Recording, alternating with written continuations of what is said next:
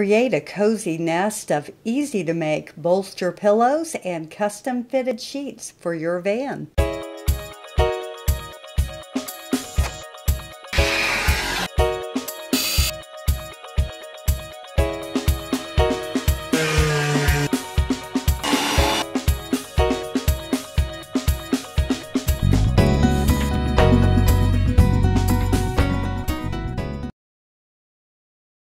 Here's an easy one using a regular pillowcase. Take a thermarest or even a rolled up coat or blanket. Um, could be clothing that you're not using all the time. Stuff it in the pillowcase, leaving excess on each end to tie a string around, and voila! I saw this knit tube of fabric at a local fabric store and thought it would be fabulous for um, my long mattress cover. So I'm, I'm, I measured the length of the mattresses plus the end plus the overlap and um, just cut it to length and added Velcro. I used the pillowcases from this store-bought fleece sheet set I'll be using the sheets for later projects. Put the sleeping bag in the pillowcase and measure where the seam should be. Pause here on this graphic for the pattern. I didn't put dimensions because yours may be different from mine. Turn the pillowcase inside out and mark the seam. Using a simple straight stitch on a sewing machine, by hand, adhesive seam liquid or tape. Stitch from the back of the case to the front. Make a straight stitch a half inch from the existing seam around the perimeter of the opening. Attach a safety pin to the end of a string or ribbon and pull through the half inch tunnel. Return the case to outside out and stuff the sleeping bag in it. Cinch the drawstring and tie knots in the ends of the string. Now you have a useful bolster and a sleeping bag when you need one. These are breathable mattresses. Check out my other video on that. I've cut one of them in half to create the center bed cushions, which can also be used as backrests when sitting up in bench seat mode. I got this flannel plaid fabric to make covers which can be removed and washed. Measuring the cushions, I allowed for a half inch seam allowance. Pause here to study the pattern.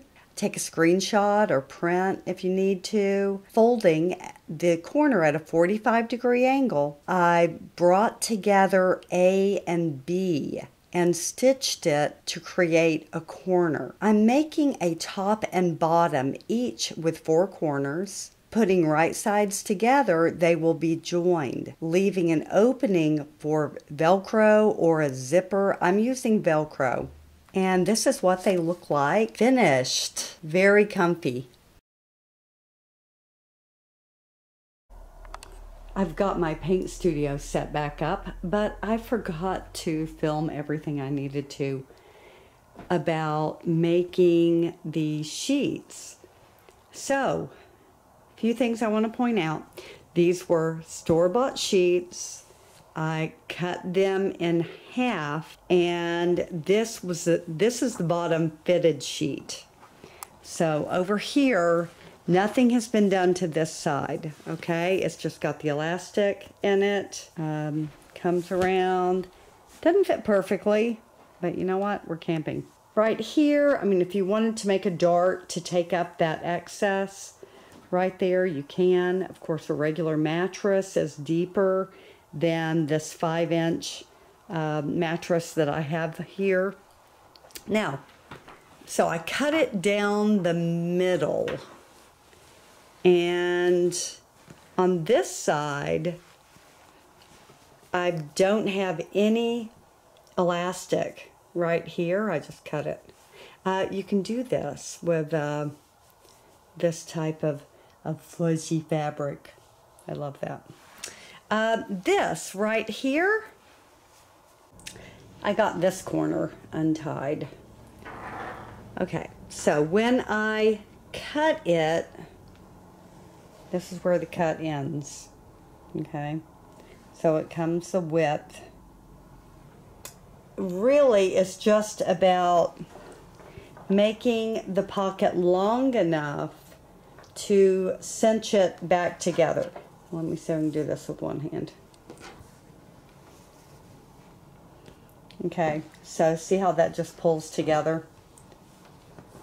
And course, with two hands, I'll pull this even tighter and then up, tie it back in a bow. But then you've got this little corner that will fit right over um, the corner of the mattress. Very low tech, very easy.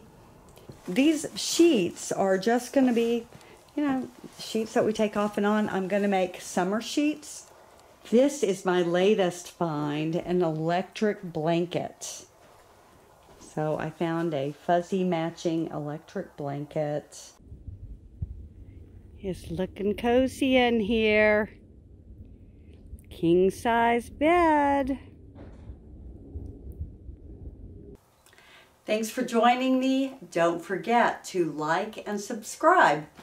Also, if you'd like to learn to draw and paint, visit my sister channel, artzXpress. I'll have uh, information listed below. Thank you.